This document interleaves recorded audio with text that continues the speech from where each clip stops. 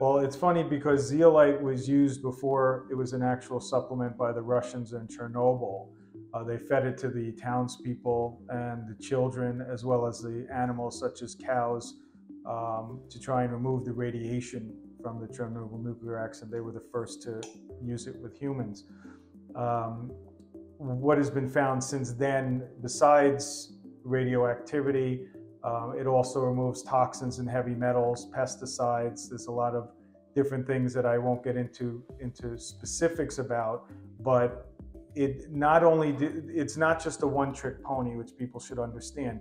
Not only does it detoxify toxins and heavy metals, and it doesn't uh, there's less chances of side effects, but it's also an alkaline mineral. And what's important about that is our bodies are over 80% water. If you've ever seen a swimming pool with the pH out of balance, the um, pool turns green and all sorts of things start growing in it.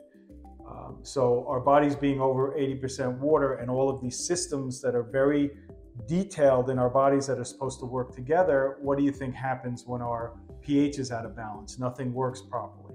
Toxins and heavy metals, um, pH being out of balance, uh, all can come across as uh, symptoms of other diseases.